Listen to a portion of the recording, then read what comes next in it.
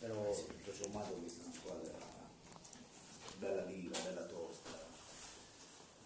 La Ternana vedrete che eh, eh, darà pensiero a tante, a, tante, a tante squadre in queste ultime 20 partite, perché sarà forzata, ha preso giocatori di valore, ma noi abbiamo fatto una buonissima partita.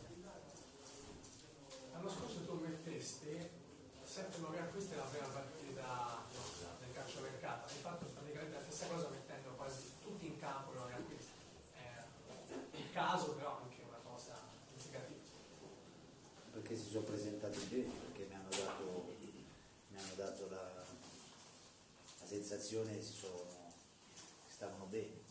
L'unico giocatore che non aveva minutaggio sulle gambe era, era Loic, ma Loic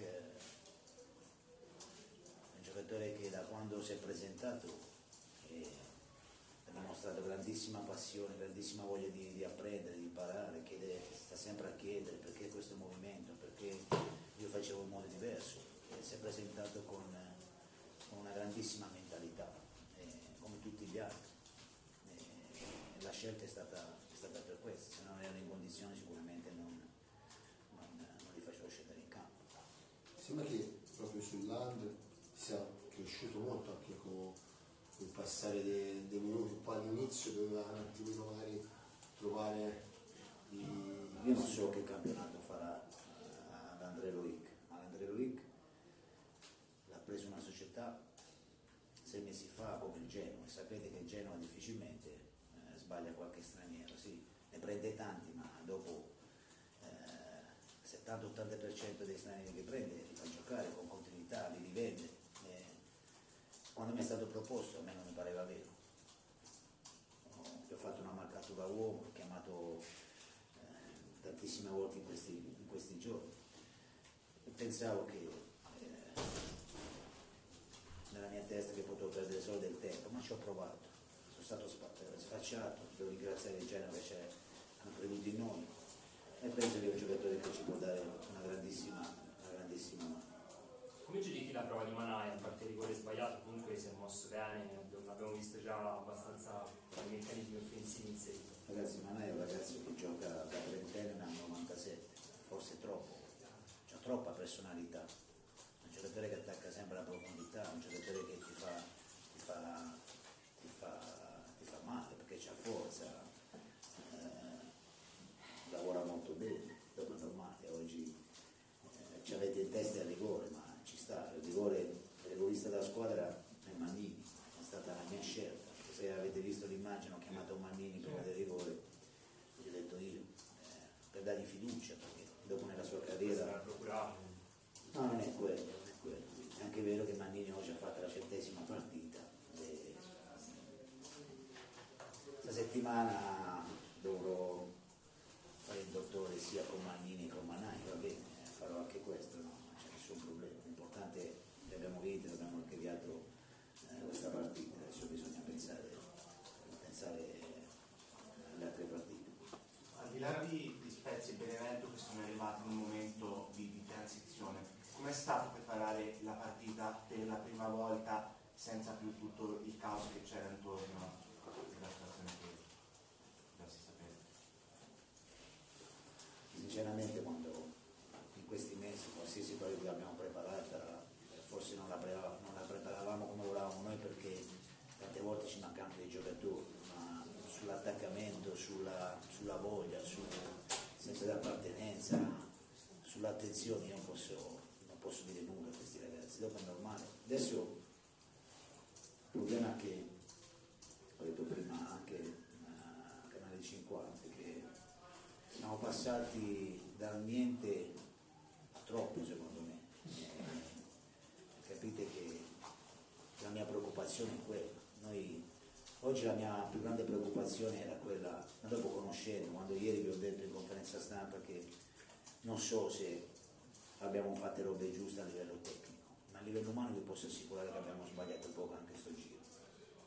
Questo ve lo posso mettere, ve lo posso mettere per iscritto. A livello tecnico non lo so, perché il campo ne parlerà, ma a livello umano, a livello di quella rabbia, a livello di, dell'agonismo, a livello del senso d'appartenenza, sembra che questi giocatori, e l'avete visto anche oggi come hanno giocato, e indossano questa maglia da tantissimo tempo. questo noi non dobbiamo perdere questa componente qua secondo me. La mia preoccupazione era questa qua. Mettendo qualche innesto eh, si può perdere quello spirito, che- lo spirito degli investimenti ci ha contraddistinto. E invece devo dire che per come si allenano, per come, per come hanno giocato oggi, non posso dire no. A proposito del livello tecnico e di campo, Gatto ha fatto un gran gol e ha giocato con personalità il primo tempo soprattutto. può fare ancora molto di più, fare molto di più e gioca. Tante volte io vi pongo un quesito, io vi pongo un quesito, che dopo, e non voglio, questa non è una polemica, questo è, un, è un- quello che dico deve essere una crescita sia per i miei giocatori ma anche con le persone che ci devono dare una mano. Mi spiegate perché Golubovic quando gioca da questa parte qua tira la palla dietro due volte di fila dopo in avanti non gioca mai perché sente il rumore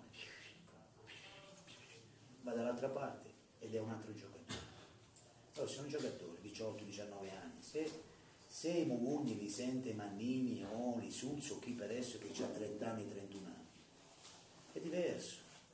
Ma chi li sente da chi ha 19-20 anni è un po' di paura ti viene ti viene, ti viene il braccino corto non, non- non guardi in avanti. E questa non è una polemica questo è un qualcosa di, di- se possiamo crescere tutti insieme di conoscere. se ma non bello che, ma non è bello che io mi rivolgo alla tribuna perché li sento anch'io e perché vedo dopo a fine primo tempo che devo discutere con i miei giocatori su degli aspetti che eviterei di, di parlare. Dopo qualcuno mi può dire ma quelli parlano che gli vuoi, insegnare- gli- gli vuoi dire come devono eh, venire, venire al campo o se possono fischiare no? No. Se riusciamo a creare un qualcosa di più costruttivo se riusciamo a capire che sono giocatori ce ne abbiamo adesso che hanno 20 anni, 21 anni, se gli diamo invece di, eh, di tirare un moccolo di fare qualcos'altro, gli facciamo un applauso in più, sarebbe molto più facile. E questa non è una polemica, no, ma perché non è nemmeno bello, perché dopo, essendo uno sanguigno come me, anch'io dopo, a- quando finisce la partita, eh, vado, a, vado, vado a rivedere quello che ho fatto, non è bello che io mi giro davanti, eh, dietro, giro davanti alla tribuna e discuto con, eh, eh, con la gente, non mi piace nemmeno a me, però non lo faccio per me, Possono- a me mi possono fischiare, discutere, non capisco un cazzo di calcio o metto male, male la squadra. E insul- insultassero me, però non, non mi piace che in questo momento, in un momento importante eh, come siamo adesso, eh, dobbiamo perdere tempo e discutere per altre cose, non mi piace, perché non è nemmeno bello il gesto, il gesto che ho fatto io. C'è stata una parola, un qualcosa in particolare? Ragazzi, ma voi state su, sentite, dai, tante, abbiamo fatto gli ultimi 15 minuti, sembravamo di giocare fuori casa, ma non dalla curva o da gradinata, è la paura che viene, è il compitino. Oggi qualcuno deve capire che giocare dietro al portiere fa parte del nostro modo, non è perché abbiamo paura che giochiamo al portiere, perché vogliamo andare dall'altra parte, perché vogliamo fare, vogliamo sviluppare il gioco in determinato. Poi se a qualcuno non piace, gli spiegherò perché andiamo dietro al portiere. Eh, spiegherò anche quello. A proposito, non è una critica, per tanto della difficoltà la prima partita dopo una pausa, anche da me molto difficile, soprattutto se devi vincere per forza, e la squadra si è comportata bene come ha controllato 1-0, però le partite vanno chiuse, lo chiede per primo allenatore, come mai non l'abbiamo, al di là del novantesimo, non l'abbiamo chiusa, sono stati bravi la Ternana a non lasciarci più, cosa ci è mancato, anche siamo stati bravi perché non hanno più No, siamo stati, no, siamo stati bravi, però, come ho detto già prima, non, non è torto quando dici dobbiamo chiudere. Dopo il problema è quando ci abbassiamo, perché abbiamo fatto una pressione tante volte paurosa, abbiamo Sì. cominciato a fare casino, ho visto l'attaccante eh, Peralta che andava, a- andava a prendere il posto di Manai, Manai a largo, questa è la confusione eh, che non deve succedere, perché tante volte eh, Diego deve prendere il vertice basso, non deve fare una pressione alta, tante volte abbiamo sbagliato anche a fare pressione perché ci abbassavamo, la linea di difesa secondo me abbiamo fatto per 60-65 minuti, stavamo sui 30 metri, dopo all'improvviso eh, ci siamo allungati 50-60 metri, non sapevamo mai come uscire con la mezzala sul- quando ci allargavano, dobbiamo migliorare su questi aspetti qua, Eh, tante volte non li chiudi perché dopo devi coprire più campo, eh, quando devi attaccare la profondità, non ci arrivi, se ne affanna. Dopo si sa che noi, per come giochiamo noi, per come vedo il calcio io, i nostri attaccanti tante volte sbagliano anche perché richiedono una mole di lavoro importante. Però questo fa parte di vedere come vedo io il calcio, dobbiamo coprire, coprire il campo. Però sicuramente possiamo fare, possiamo fare qualcosa di più e questo eh, dobbiamo andare alla ricerca di migliorare questo aspetto qua. Senti, anche Giulia ha dato una certa velocità al centrocampo, un po' tutta la squadra sembrava molto più rapida.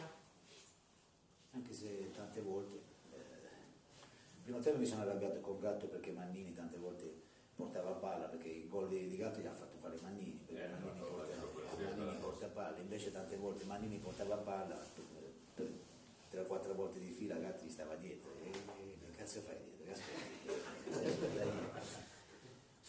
ma però è la prima partita, abbiamo- caricato anche tanto in questi, in questi, in questi dieci giorni, abbiamo fatto abbiamo fatto una mole di lavoro importante, sapevamo che eh, dovevamo farla per forza perché eh, ci serviva, perché ci è mancato quel mese che siamo stati fermi, ma e dopo a Giulio è un giocatore diverso da, da Lerner, Lerner è più muscolare, lui è uno che ha più piedi secondo me, riesce a spostartela eh, e a metterla anche. Sono due giocatori, oggi Verde è ritornato, i giocatori che conoscete, conoscete tutti, ma tutta la squadra mi è piaciuta.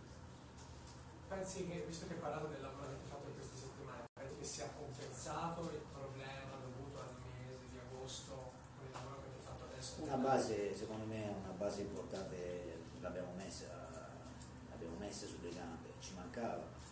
Anche è vero che come- per come lavoriamo, eh, siamo una squadra che lavoriamo tanto durante la settimana, eh, spendono anche tanto allenamenti, ma ci mancava, siamo andati alla ricerca di quello che ci mancava, speriamo di non aver fatti danni. eh, se abbiamo fatti danni la colpa sarà mia. A proposito, Gabanelli in panchina, quindi a che punto è? Tabba è un giocatore che ci ha sorpreso anche noi, è un giocatore che entra in condizione subito perché non c'ha un filo di grasso, e pesa 20 kg e, e fa correre la palla, fa correre la palla. È normale che ancora non sta, non sta benissimo, però è un giocatore che in questi 10-12 giorni ci ha sorpreso. E, e si sente anche, dopo ha un'importanza all'interno dello spogliatoio, è un giocatore che al di là delle doti tecniche del giocatore che ha, ma porta allegria, porta grandissima allegria e tante volte eh, è molto molto importante questo aspetto qua, ma non, non l'ho portato in panchina perché porta allegria, eh. l'ho portato in panchina perché è un giocatore forte, un giocatore che sa giocare, eh, secondo me ci può dare una grandissima mano. Avogadri è tornato, eh, si è curato fuori, è tornato e speriamo di riaverlo in gruppo la settimana prossima. Il giudizio su, l'ha già accennato, il giudizio sulla prestazione di Ragazzi Diego, Diego ma no, non mi fa arrabbiare perché devo fare anche belle cose, ma perché mi aspetto io di più da Diego, che è un giocatore importante. Oggi si è accentrato un paio di volte, mi aspettavo di tirare la sua Antonella eh, sul palo lungo e, e invece dobbiamo migliorare su questo aspetto qua, di che si deve assumere qualche responsabilità in più. Ancora deve capire che lui deve, quando stoppa la palla deve orientare in avanti, perché è un giocatore che ti fa male quando orienta in avanti. Invece oggi abbiamo preso 3-4 palloni là, eh, a centrocampo, abbiamo preso 3-4 ripartenze perché la, la lettura della giocata non è stata queste sono queste cose che mi fanno arrabbiare. Però vedere Diego che va con Diachite a combattere, eh, questo a me mi riempie di, di orgoglio, di gioia, perché ha capito come, come si deve giocare. Sicuramente deve sbagliare meno, perché ha le capacità per sbagliare meno. Ok? Grazie a tutti. Domande? Grazie. Grazie mister. Ciao mister. Ciao ragazzi.